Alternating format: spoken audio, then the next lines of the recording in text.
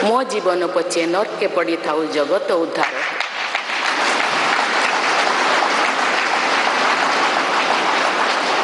अर्थात अपने जीवन के हित और हित से बड़ा जगत कल्याण के लिए कार्य करना होता है जगत कल्याण की इसी भावना के साथ मैं आप सब के विश्वास पर खरा उतरने के लिए पूरी निष्ठा व लगन से काम करने के लिए सदैव तत्पर रहूंगी आइए। हम सभी एकजुट होकर समर्पित भाव से कर्तव्य पथ पर आगे बढ़े तथा तो वैभवशाली व आत्मनिर्भर भारत का निर्माण करें। धन्यवाद।